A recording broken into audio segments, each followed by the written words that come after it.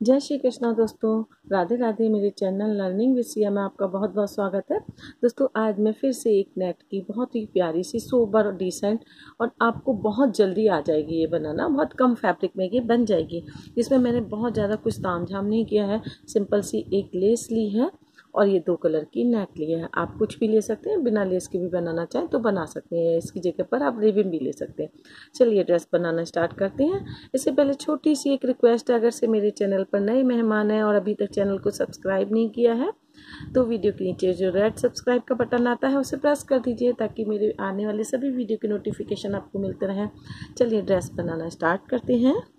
दोस्तों, ये पोशाक हम छः नंबर के कान्हा जी के लिए बना रहे हैं और छः नंबर के कान्हा जी के लिए हम पाँच इंची चौड़ा और लगभग साठ, सत्तर इंच, साठ से पैंसठ इंची लंबी हम ये नेट की पट्टी एक कट कर लेते हैं।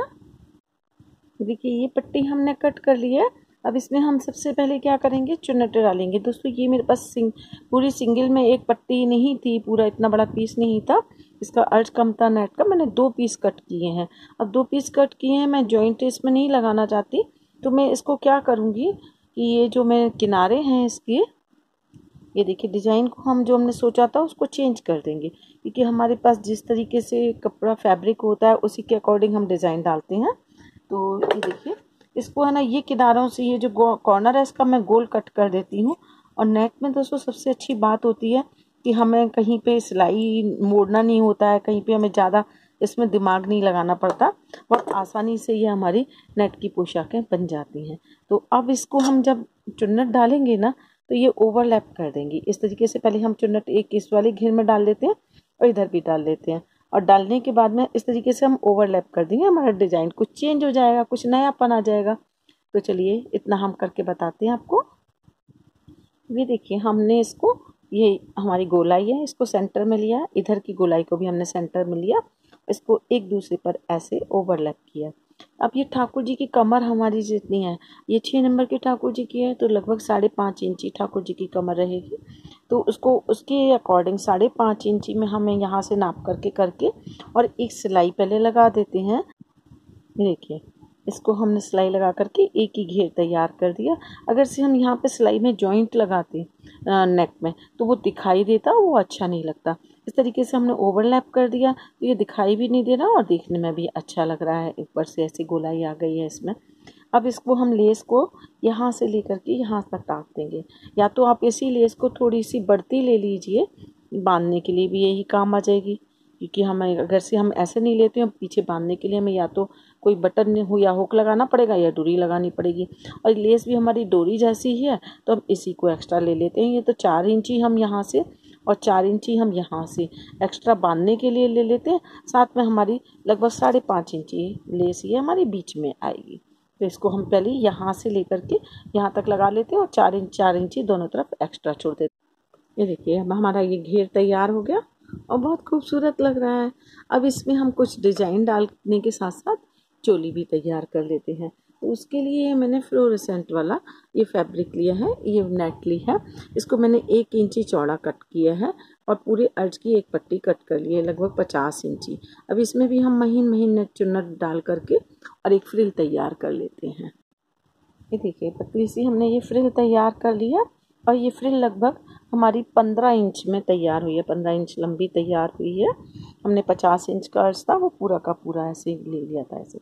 अब इसके ऊपर हम लेस लगा लेंगे। ये जो लेस हमने घेर में लगाई है, उसी लेस को यहाँ से हम ऐसे टक कर देते हैं। देखिए, थोड़ी सी हमारी ऊपर से ये फ्रिल भी दिखाई दे, ये वाला फैब्रिक भी दिखाई देना चाहिए।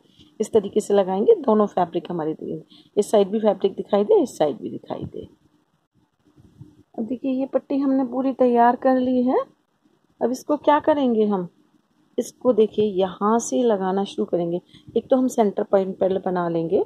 ये इसको यहाँ से लगाना शुरू करेंगे और यहाँ पर हम लाते हुए, ये देखिए, इसको हम यहाँ सेंटर से लगभग एक इंची हम छोड़ करके यहाँ पे ले आएँगे। देखिए, ऐसे। और ये हमारे ठाकुर जी के कंधे पर से, एक साइड के शोल्डर पे से आती हुई बैक में चली जाएगी। यहाँ पर हम टक कर देंगे, बाकी हम ऐसे ही छोड़ देंगे। तो ये हम लगा करके आपको दिखाते हैं पहले। इसको हमें मशीन से नहीं लगाना है, केवल हम यहाँ से टक करेंगे और यहाँ से टक करेंगे। इसको हम ऐसे ही ओपन ही छोड़ देते हैं। तो देखिए दोस्तों, अब ये हमने इसको लगा लिया है, इसको ये टक कर लिया है मैंने। ये देखिए, ऐसे ये हमारे जैसे ठाकुर जी की कमर में करधनी लगी हो, इस तरीके से डिज़ाइन आ गया।